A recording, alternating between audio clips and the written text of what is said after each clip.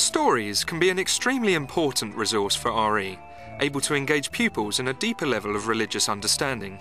But AREIAC, the Association of RE Inspectors, Advisors and Consultants, has suggested that the use of story is not always as effective as it could be.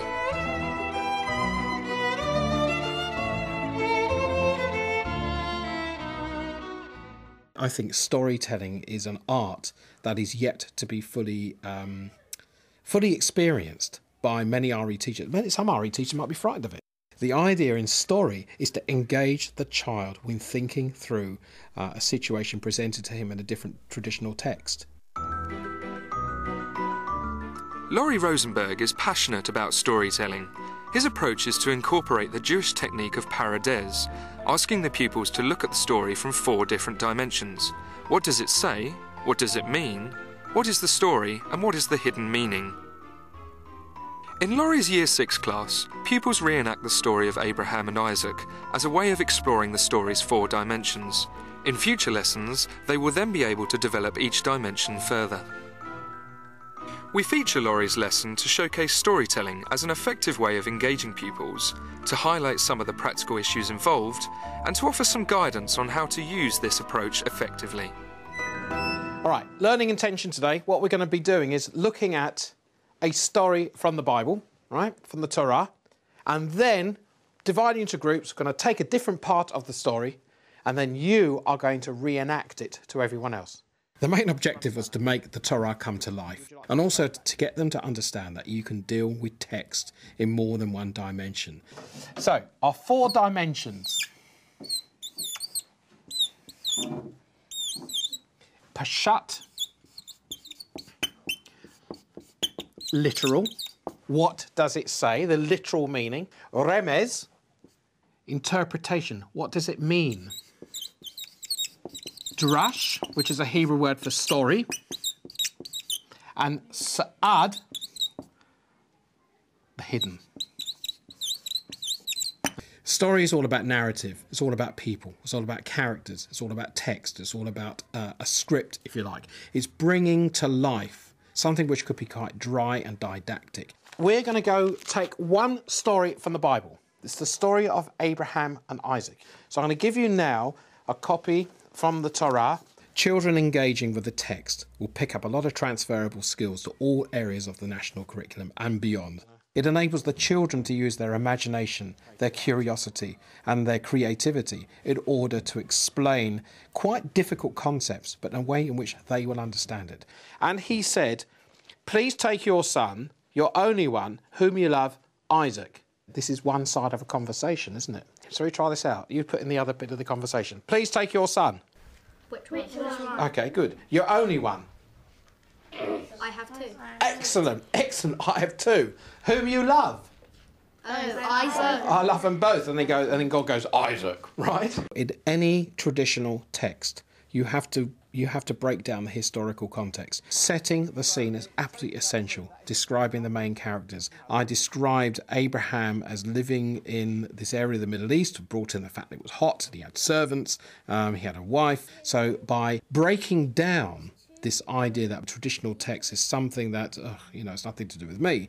You have to try and contemporize it. Why did he wake up early in the morning? Bit of remez now. It must have been a long journey. Excellent. Excellent. It must have been a long journey. You imagine the scene.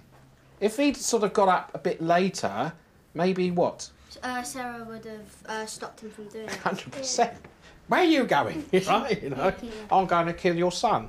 Get back into bed. So, in other words, so by waking up early, that's another little scenario. And the two of them went together. What does that mean? The two of them went together. Um, it shows that they are still together. They still love each other. Excellent. Abraham stretched out his hand and took the knife to slaughter his son. What a wonderful bit you can put into your story, can't you? Isaac says to his dad, Tie me tightly Dad, I don't want to flinch when you put the knife on me. Why did he slaughter the ram? Maybe when your brain sends a message, you, you're just like you have no control and Brilliant. you just do it. Brilliant, Sasha. So. Brilliant. He was he was he, he was full of it. He was going to kill his son. Can you imagine? The adrenaline was burning through his body. He had to do something, and for God or the angels to realise this, he killed the ram instead. If a non specialist wanted to do this kind of work, I would challenge them to do it through the dimensions of Pardes. Yes, Jews may have invented it, you can use it in any way. It could be some of the wonderful tales from the Guru Nanak in Hinduism. It might be this, the, what Muhammad has said uh, in Islam and in the Quran. Using Pardes, you can actually break down some of the um, resistance to using traditional text. And what we are going to do now in our groups is to take a different part of the story and we're going to try and enact it. We should have four different parts. Hopefully, Amechi, it will make the whole story. That's Sarah. I'm Abraham. You're God. You're an angel. You're an angel. Just leave him alone. I'll- I'm Abraham. Abraham. Don't kill him. How are you going to get the idea of three days passing? What are you going to what Lights, but we're gonna do it in the real lights. in the where? In the real lights. The real light. So Just like a. so day and night, in other words. Yeah. In rehearsal, I was going around to different groups. In your eyes, ask the questions. The Abraham with his knife above Isaac, and I wanted them to make eye contact. I wanted to see whether those children, who are quite bright, could actually engage in non-verbal communication between the two. But it's actually in the eyes, the two. You know, why are you doing this to me? Could you do this? But you're not. But you're showing it in your eyes. It's really difficult because the conversation's not written out, so we don't know what the conversation was. These are elements of a really good story. Ordinary people caught up in something metaphysical, something exciting, and to get the children, even the year six children, to actually explore the nuances. That's the art of story. So, what I want to do is maybe if we, if each group just shows what it's done so far. Abraham, Um, please take your How, whoa, son. whoa, whoa! Stop, stop, stop! Hang on. D- Weren't you going to be a bit surprised? Yeah. Because you said, "Oh, yeah, okay." So do you want to take that bit again? Abraham, oh gosh. Tell me it's not him again. please take your son. Which one? God, you're supposed to be omniscient. You're supposed to know everything. I know that's that's Yeah. not that's not his part. Oh yeah, you purposely Yeah. don't. Oh, I'm No, sorry. because I forgot his name Okay, all right. Stories can take a lot of different forms. It can be brought to life through ICT. It's quite easy to download a piece of text and um, make it into a story and then make it into a PowerPoint presentation. Another way that children could present their work is in a storyboard, a series of simple structures to enable them to deconstruct the story. And then afterwards, I could have collected them all, we could have had a lovely display. So there's plenty of ways we could have done that. Abraham um, hid underground. No, no, whoa, whoa, whoa, Michelle, I think you need to explain it because I don't know. What are these? What are these things? The non specialist RE teacher has to be absolutely confident to use the text. There might be a, a fear of using a traditional text. Do it through a contemporary text and deconstruct that along the four dimensions that I've talked about. Abraham, Abraham, what are you doing? If you look at the text, what you actually say is Abraham, Abraham, do not stretch out your hand to kill your son, for now I see you you uh, can obey God. As they get older, yes, they might revisit the story in different forms. By the time they get to year six, they, they should be quite sophisticated in the way they in the way in which they deal with this particular piece of text. What are you going to show? Exasperation, bit of annoyance. Yeah. Well, go on then, show me. Oh, what do you want now? Yeah, all right. How are you going to convey to everyone else in here that you're travelling for three days? We've got our light engineer, Sabrina. Right. She, she she's going to be staying day one, day three, and, and she's going to be using the lights. Right. Okay. This group. How do they connect without talking? Eye contact. Show me a conversation with your eye. So. No, that looks like you died. All right. What we're going to do now is we're going to put it all together, and hopefully it will be like one seamless, well-oiled machine, or it could be a total catastrophe. Whatever happens, whatever happens, I think you've probably understood more about this piece of text than you did before. Okay. So I'm going to be the commentator. So Year Six Productions proudly presents Vayera, the Binding of Isaac. This is the 10 tests. This is the first test. Abraham hid underground for 30 years from King Nimrod. This is the fifth test. this is the seventh test.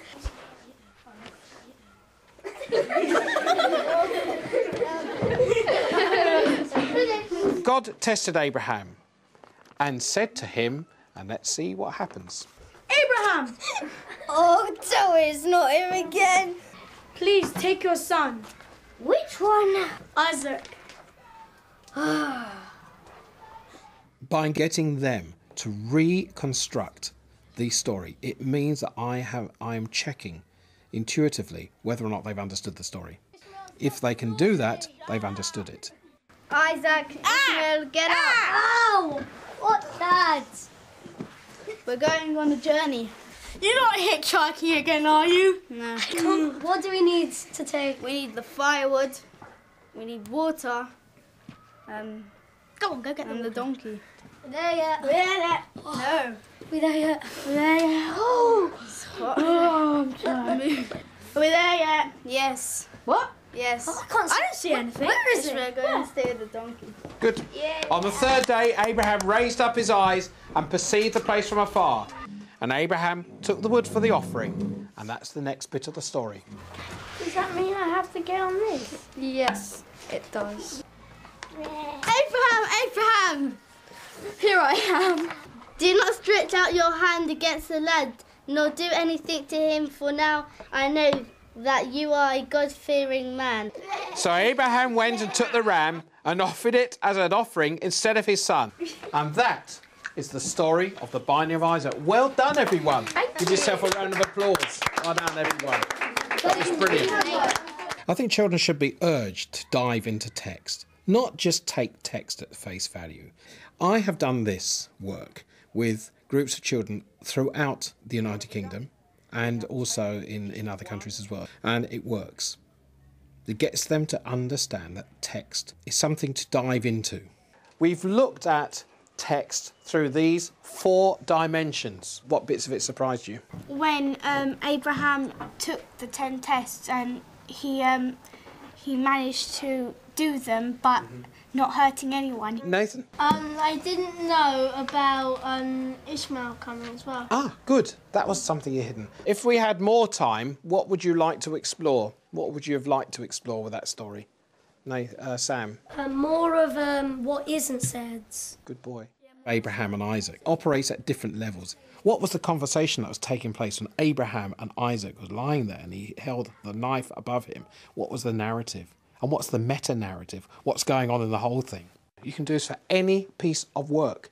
You can look at a piece of text now and look at it through these four dimensions. So I can tell you, you can take this whole of this Torah and make it into a story, a drama, make it into literature, make it into a soap opera. It's the best soap opera I've ever seen.